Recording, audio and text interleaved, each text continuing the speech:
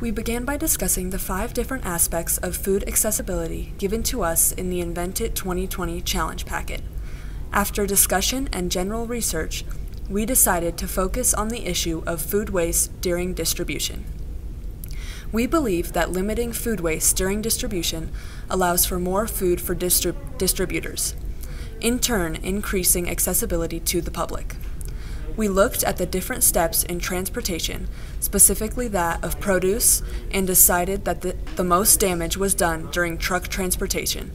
We saw that current packaging caused a lot of damage, so we decided to create a new form of packaging for produce and other foods during transport. The FAO, or the Food and Agriculture Organization's definition of waste includes all losses between harvest and the consumer, so commodity balance data can be calculated by the level of imports and exports.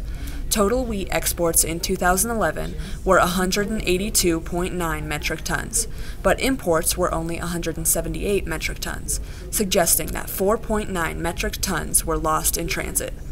An article by the FAO says insufficient attention appears to be paid to current global food supply chain losses, which, is which are probably substantial. Even though the statistic about the wheat is about 10 years old, the problem of food waste in transit has not been addressed, making the issue very relevant. As you can see by these images, the current packaging is quite unstable. The bottom left, image here is an example of a pallet defect that would have damaged produce and caused hassle to repair. The other images show that the cardboard boxes on the wood pallets are wrapped only by saran wrap. This configuration leads to load shifting, where the entire stack of boxes moves and falls due to truck movement, which is another large destroyer of food products. Because of these issues in food transportation, we decided we wanted to create a better container in place of the current packaging. To build upon the traditional current wooden pallet, we decided to make a shipping container with five plastic surfaces, four walls, and a base. The walls will have a crosshatch design. On the corner of each of our boxes on the base will be retractable pegs that come out with gravity. When the box is placed on a surface, the pegs will retract. As the box is lifted, the pegs will come out. When the boxes are stacked on top of each other, the pegs will fit into holes on the top of the corners of the box below. By using plastic, the crate is more lightweight, durable, and reusable than wood pallets. The crosshatch system on the walls allows airflow while still protecting the products. The pegs allow for sturdy stacking of the boxes, preventing load shifts. The pegs also enable the boxes to be stacked with more stability in a shorter amount of time than the current warehouse process, increasing warehouse efficiency. We modeled the dimensions after the traditional pallet width and length, which is 48 inches by 40 inches. Then we made the height a perfect yard, 36 inches. We designed the measurement ratios and overall model from smaller crosshatch crates that are used to hold craft supplies and household items. We added crosshatches to reduce the amount of plastic used, even though it is recyclable regardless. We planned for the walls to be 4 inches thick, leaving room for the attached pegs in the corners to be 2 inches in diameter. These pegs are located at the bottom. They retract when force is applied on them from the bottom, otherwise they stay out. The holes that the pegs will slide into are located in the top corners of the crate and are slightly bigger than 2 inches in diameter, so the pegs slide in smoothly. The next step in our process was to create a 3D model of our crate. We decided to do this on a 3D drawing site. We started by creating five rectangles with the dimensions we decided on in the sketch. We then aligned them to make the crate. We didn't put the crosshatch design on this model because we did not have the time or resources.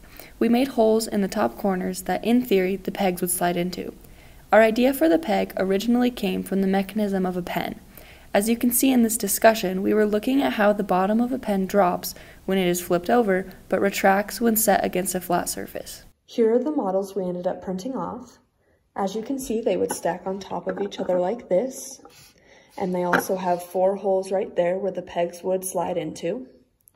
We were unable to make pegs on the bottom part of this model because it was such a small scale, it would be difficult to implement the complex mechanism.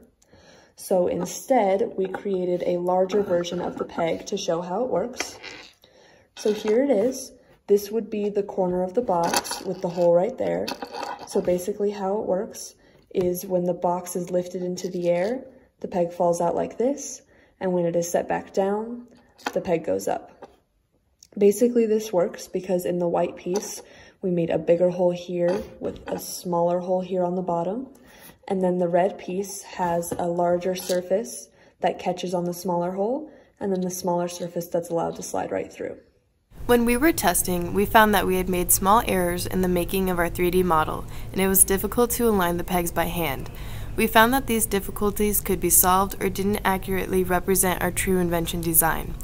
After having completed a rough test of our invention with our 3D models, we then presented our invention to our STEM class. We explained what specific problem we are looking to address and then showed them our crate and how it was different from current forms of packaging. After our presentation, they completed a Google Forms survey in which they could provide their feedback.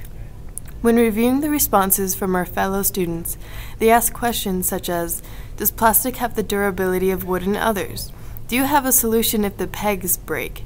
What is the environmental friendliness of the product? How would companies receiving products like the invention?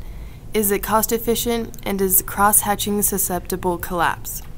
They also provided ideas and comments like collapsible walls so that workers won't have to go all the way in to get the goods inside. The shipping industry has been around for a long time, it'll be tough to convince people to switch. We even had a received a student who had provided that I've worked in a warehouse and I have seen firsthand the amount of products that are damaged. Using saran wrap was difficult and second, wasteful. Pallets are also easily broken and splintered. It's unbelievable. After reading through all the responses, we took the time to discuss and research how we might address concerns and which ones we should focus on to improve our invention design in the tweak it phase. After sharing our idea with peers, we received feedback. From that feedback, there were many that we chose to implement into our design. We then sketched a new design after hearing what people had to say. As mentioned previously, many asked about its environmental friendliness and if users would have to just throw it out if a peg broke. We decided it was important to state that the plastic is recyclable and if a peg breaks, the crate can be melted down to create a brand new one. Another important comment that we received that we had not thought of was because our sides weren't removable, the product would have to be dropped in from the top, which doesn't help prevent damaging. We then made the sides removable. They can slide out along the grooves if pulled up, but stay in any other time due to the shape of the grooves. This not only helps with loading because products can be loaded in from all sides, but if a side gets broken, it can easily be replaced by sliding in a new one.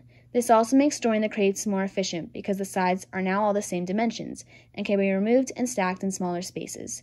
In order to make this size stackable and easily replaceable, we revised the dimensions of the overall crate, changing it to be 48 inches by 48 inches by 36 inches. As for the problems that didn't involve the design, we researched the durability of the plastic and cost effectiveness. We found that plastic was even more durable than wood, which is why it can be reused so many times. Because it can be reused so many times, it's worth the high initial cost. We are introducing new crates that are used in the transportation of food products. Current forms of packaging are poor in that they are inefficient and can cause damage to machinery and the products that they're transporting. Damages to machinery, load shifting, and rejected loads all contribute to the inefficiency of transportation and the spoilage of food.